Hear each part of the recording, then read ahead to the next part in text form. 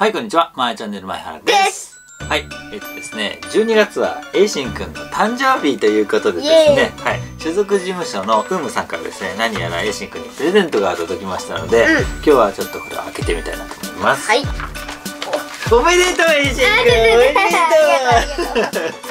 うよいしょ。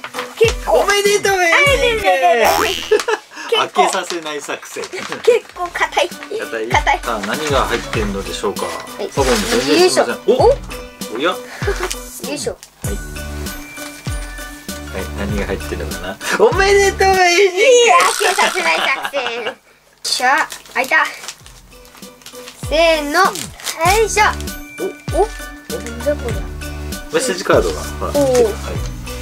読んでみてください。よ。おあお。ペンダントかな、これ。んうん、なんだろう。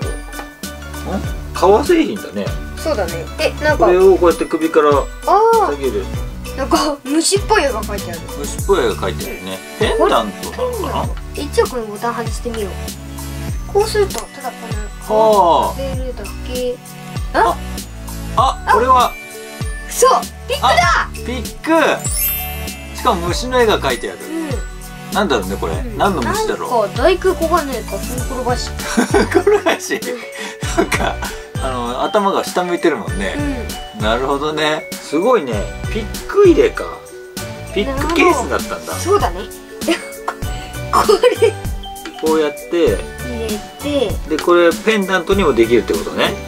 こうしてこここうして、こうすれば忘れずに済むわけだ。で、なるほど。あいいじゃんいいじゃん。おお、いい感じ。なるほどねうあのメッセージの中にありましたよエジン君ハッピーバースデーギターの練習を頑張ってほしいなと思ってこのプレゼントにしたよってん。あやっぱりそうだったんだねあ。ピックのプレゼントだったんだねはいじゃあこれでまたギターの演奏頑張ってくださいうん。はい。はい、はい、ということで服装が変わってるんで分かると思いますけどもちょっと別の日ですはい。はいでもらったピックどうですか？うん、硬い。ちょっと硬め？ちょっと熱い。普段使ってるやつよりも硬めで熱い感じうん。でちゃんと弾けるかちょっとやってみてくれる？はーい。あ、全然弾けるよ。全然弾ける？やっぱあんま変わんないのかな？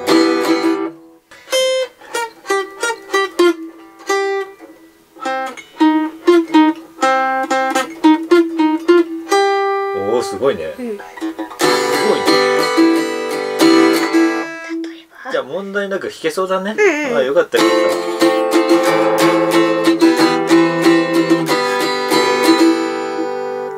っよいしょ。っていうかすごいね。うんなんか軽く今弾いてくれてるけどさ、うん。めっちゃかっこいいよ。ということで今回ですね所属事務所のうむさんからエイシンくんへ誕生日プレゼントいただきましたね。はい。まあピック入れなのかもしれないピックも入ってたんで、ん今回はこのピックで弾いてみました。はい。はい、ということで今日の動画が面白かったなとか、エイシ君おめでとうとか、エイシ君ギターかっこいいと思った方はぜひいいねボタン、高評価、 Good Like お願いします。はいそしてぜひお友達にも教えてあげてください。そしてチャンネル登録もよろしくはい、ということで今回は以上でございます。バイバイ。ありがとうございました。はい、ありがとうございました。